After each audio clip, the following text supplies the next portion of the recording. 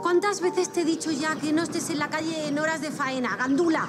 Eh, señora, yo solo la buscaba para saber si pongo la mesa para dos o para cuatro, que no quiero dejar fuera a su sobrina y a su hermana. Ah, sí, eh, para cuatro. Volverán pronto de sus compras. Eso sí que es vida. Ir a comprar y volver a mesa puesta. ¿Qué tienes tú que decir? Eh, yo nada, en boca cerrada no entran moscas. Pues aplícate el cuento. Ala, a poner la mesa. Sí, señora. Esta chica cada día está más respondida. Tienes razón en lo que dices, Rosina. Menuda vida se pega a tu hermana. Bastante tiene tu sobrina con aguantarla. Por cierto, ¿te ha dicho Azucena cuándo se van? No, no, no me ha dicho ni... Pues deberían. Venían para dos o tres días y llevan ya una semana aquí.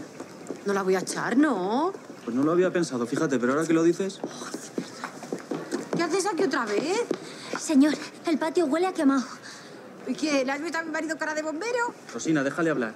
¿Cómo que huele a quemado? ¿Quemado de qué? ¿De incendio? Eh, no, no, de, de incendio no, huele a quemado de cena. Ah, entonces no creo que sea nada grave. Ya, pero es que me preocupa por don Ramón y por don Felipe. Esos dos son capaces de acabar con Acacias entero. Es que yo no sé por qué no se buscan una criada.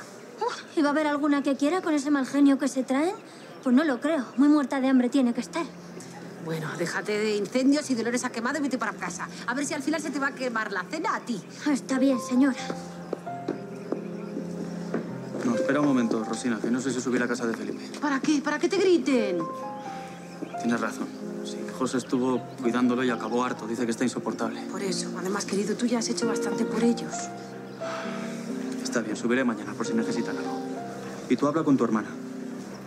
Que sí, está bien. Rosina, pero habla de verdad, que no quiero que se eternicen aquí, ¿estamos? Me voy a lavar las manos, lávate la boca. Hacerte pequeñas igual ella sin dar explicaciones.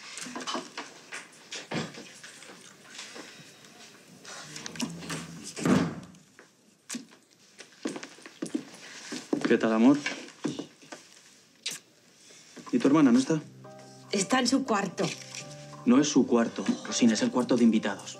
¿Te he dicho ya cuándo se van? No, se lo he preguntado, pero no me ha dicho nada. Pues o se lo sacas tú o lo haré yo. No, no, por favor, Gilberto, que no quiero peleas. Ya veré yo cómo lo hago. Está bien, hazlo como tú quieras, cariño, pero no lo dejes, por favor. Ya te he oído. Oye, ¿qué sabes de, de Felipe y de don Ramón? Pues nada, están como siempre, pero un poco peor. Es como si les hubieran puesto en una ladera cuesta abajo y no supieran frenar. ¿Y qué hay abajo?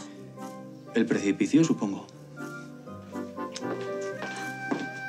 Yo no sé para qué hay criada en esta casa. Quería ponerme una blusa y no está ella para plancharla.